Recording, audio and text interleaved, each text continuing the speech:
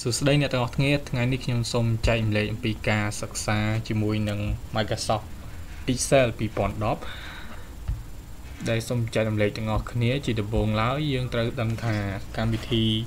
Excel គេប្រើវាដើម្បីអ្វី Microsoft Excel គឺជាកម្មវិធីមួយដែលស្ថិតនៅក្នុងកម្មវិធីជាច្រើនដូចជា Word Excel PowerPoint Access និងមានផ្សេងផ្សេងជាច្រើនទៀតហើយអា ចំណែកកម្មវិធី Microsoft Excel នេះវិញគេប្រើសម្រាប់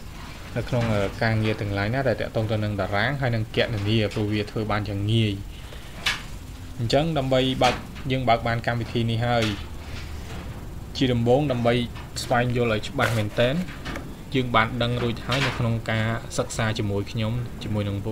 Word Excel Word ឥឡូវនេះយើងជាមួយនឹង Excel ដែលមានប៊ូតុង Home នេះ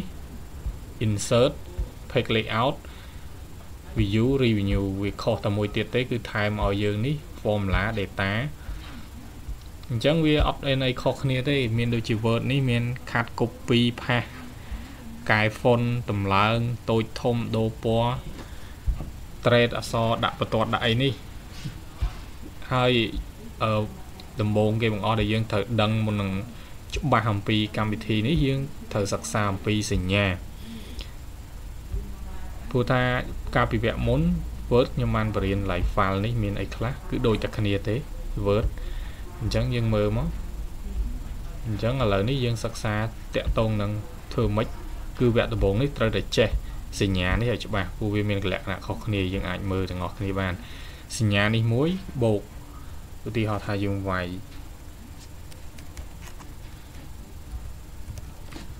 លេខ22នេះអញ្ចឹង បើសញ្ញាបូកនេះបានន័យថាខ្ញុំ select ទៅលើអាហ្នឹងឃើញទេយើងចាប់ទាញមកយើង select លើវាហើយយើងទាញមកបានប៉ុន្តែយើងបើយើងអង្កលម៉ៅទៅគៀនគៀននេះយើងឃើញចេញសញ្ញាបូកមួយទៀតដែលខុសពីសញ្ញាមុន គឺសញ្ញាបូកយើងមានក្បាលព្រួយនេះពណ៌ខ្មៅនេះ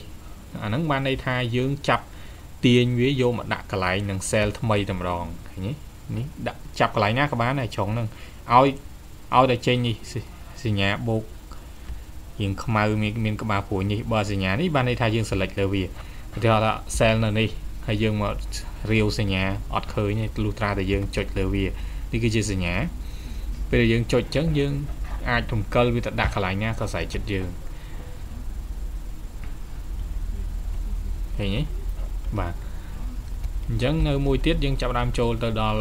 សញ្ញាមួយទៀតសញ្ញាទី1 select សញ្ញាទី2 ខាត់ដូចជាខាត់ចឹងចាប់ទាញទៅហ្មងសញ្ញាទី3នោះគឺនៅមានតែនៅកន្លែងកែងខាងក្រោមនេះទេ យើងសង្កេតមើលថានៅខាងនេះក៏អត់មានខាងនេះក៏អត់មាន មានតែនៅខាងក្រោមនេះទេអាហ្នឹងគឺគេប្រើដើម្បីទាញកណនីអូតូចេញតែម្ដងឧទាហរណ៍យើងចុចទាញមកពេលយើងទាញមកយើងវាបង្ហាញជាយើងនេះមានតែលេខ1នេះទេគេថាមួយជួរហ្នឹងគឺលេខ1ទាំងអស់ចុះបើសិនជាចង់ឲ្យលេខ1លេខ2លេខ3រៀង អូខេយើងទាញមកយើងគ្រាន់តែចុចបន្ថែមនៅ control មួយទៀតឲ្យជាប់មកបាទអញ្ចឹងបានន័យថាវាកណនាចេញឲ្យយើងតែម្ដងអូតូយើងចង់ទាញពីចំហៀងចេះក៏បានដែរលេខ22យើងអាចទាញក៏បានដែរគឺវាដេញតឲ្យតែម្ដងបាទ អញ្ចឹងយើងត្រូវយល់ច្បាស់ជាដំបូងដើម្បីប្រើ Excel គឺសញ្ញាទាំង3ហ្នឹងពេលដែលយើងចាំវាច្បាស់ហើយគឺអត់ពិបាកទេសម្រាប់ទាញ select អីគឺងាយស្រួលមែនតើដូចជាយើង select ទាំងអស់នេះយើងចង់រំកិលវាមកខាងនេះអូខេតែបើយើងអត់មានសញ្ញាទេយើងចេះតែចុចគឺវាទៅជា select វិញឃើញទេអញ្ចឹងយើងត្រូវសិក្សាជាមួយវាច្បាស់សិនមុននឹងទៅមុខទៀត បាទ